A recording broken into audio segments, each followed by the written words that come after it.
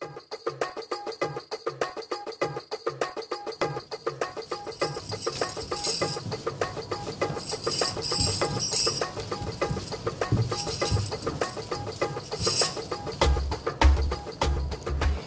my name's Stephanie Sen and I'm a professional Bollywood dancer.